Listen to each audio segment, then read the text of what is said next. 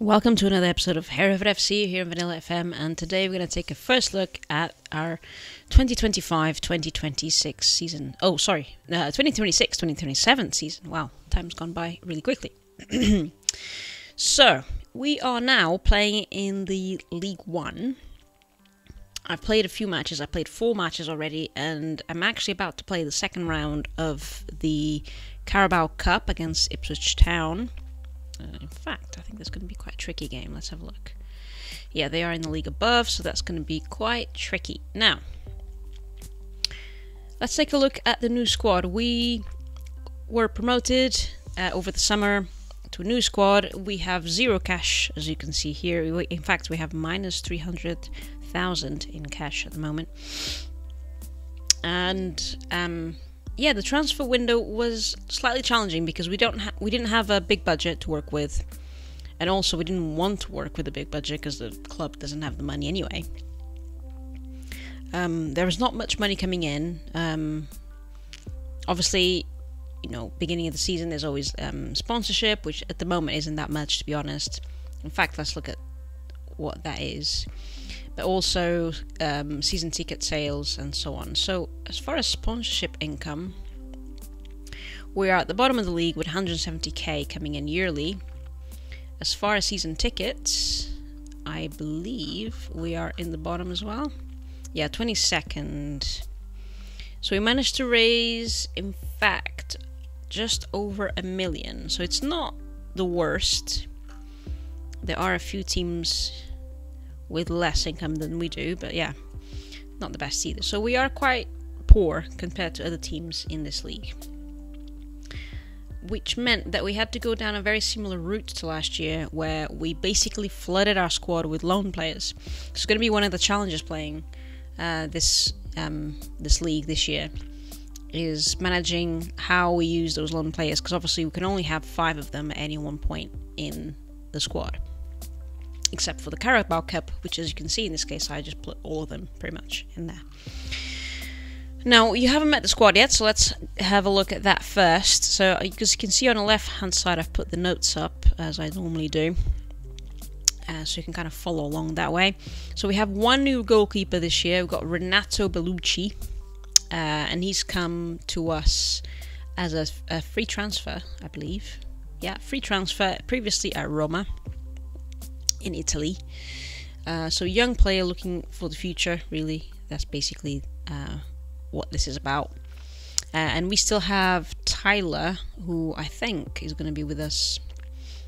Um, well, he, as far as age, he's quite young yet, so um, there's no reason for us to get rid of him. But also, this is probably kind of the plateau for him um, in terms of league, the, for his abilities and his attributes and so on. Uh, anyway, so be sticking around with us though. Still no change on the right hand side of defense, and this is starting to become a bit of an issue for us at the right hand side of our defense. We still have Kieran, and the other player is J Rowe. Um, so this is starting to be a position in need of some refreshing. On the left hand side, we bought, we loaned in a new player. Uh, oh no, we bought him. Ah, he's one of our elite spots actually from Uzbekistan. We've got a player who's about to retire at the end of the season, Farouks. So that's just a small improvement, looking to open up that spot for next season. Um, and then in the center of defense, uh, we still have Sony and Alex on the wide target man uh, sorry, the wide centre back position. But for the other positions, we pretty much did a complete swap, except for Cam Condola, who's still playing the non nonsense centre back. We got him last year from Wolves.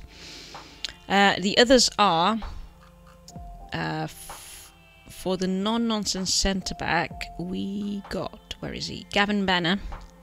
He's the other player for that role. So he's one of the first regens that we have very, very good player with a lot of potential from the Scottish League. So this is one to watch out for going forward. Although it's he's only on loan, so we're probably not going to have him back again anytime soon. But he's an incredible player. Um, And then on the uh, centre um, defender role, we've got Diogo Azor, uh, Azocar from Chile. Also a regen or a new gen, whatever you call them, player straight from Chile to us. And he's our second elite spot. And then finally, we got Francesco Francesco Polva, an Italian player who actually has done quite poorly so far for us, bless him. But yeah, uh, he's come from Udinese for us on loan. So a lot of players on loan in defense uh, to start with.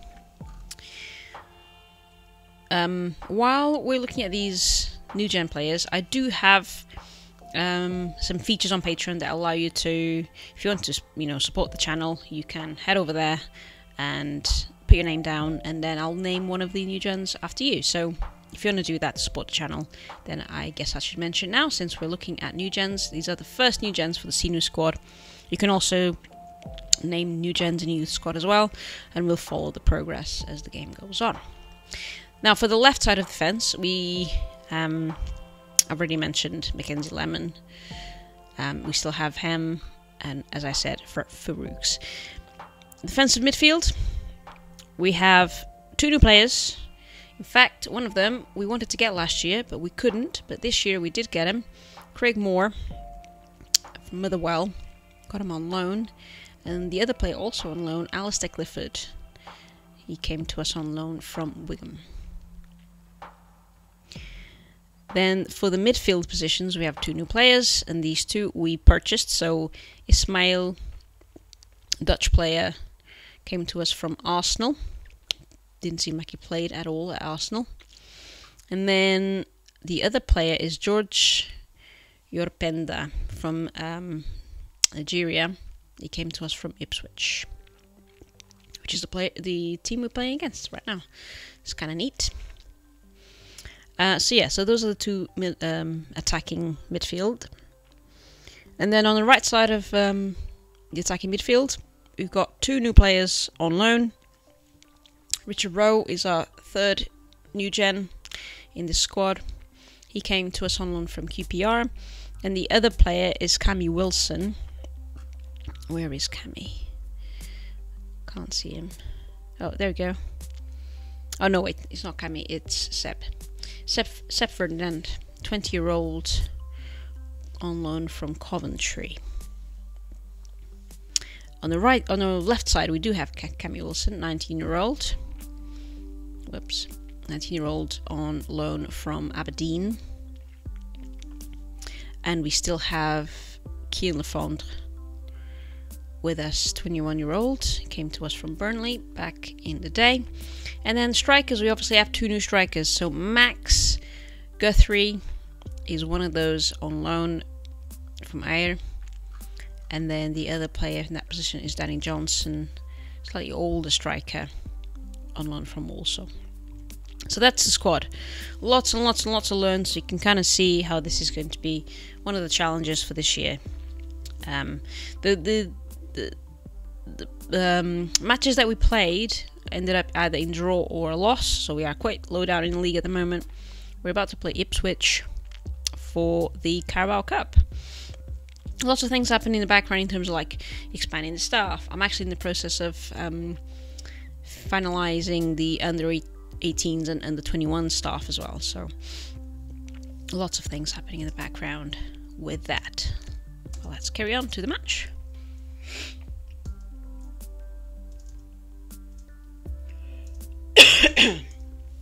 Me. Yeah, so the the biggest issue here is the lack of funds for the club. That's starting to slow down our pros, pro, progress. I know I've said this every single season, and every single season we've been promoted, but I truly believe that this season we're not going to get promoted. In fact, we're going to have to fight for our relegation for for, for not getting re- relegated. I mean, I think it's going to be quite difficult to hold on to the league for various reasons.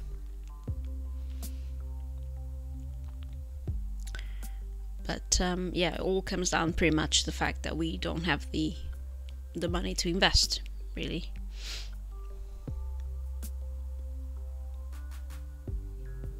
Not entirely sure how the youth team's going. Um, they were promoted to the newer league. Maybe we could go have a look at it in a minute. Right, at half time, I possibly am going to do one change. Get Danny in for the second half.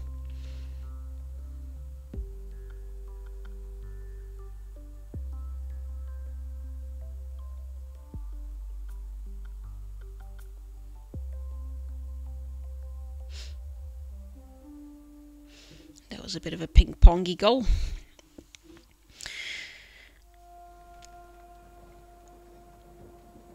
and obviously Carabao Cup, it, it's it's nice to be competing in it, but none of the cups we have any actual goals for, as in like there's no uh, club vision targets for us to achieve. Um, yeah, I think it's, it's nice that we came to the second round, but not too overly concerned about it. Let's get Gavin in.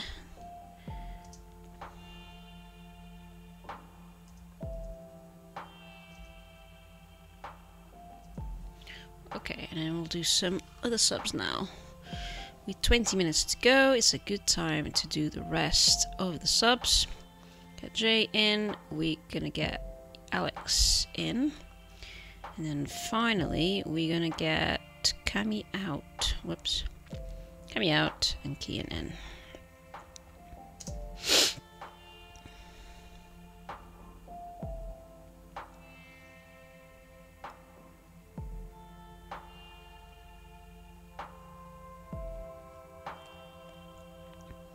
Oh, got an injury. Nothing we can do about that at this point.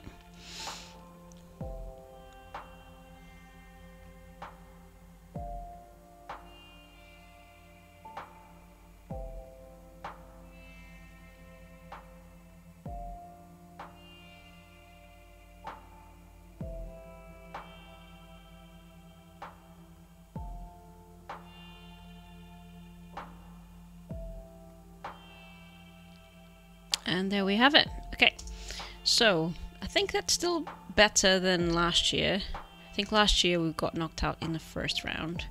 Let's have a quick look at that. So we can go to stages and then previous season. And I don't think we were in the second round. No.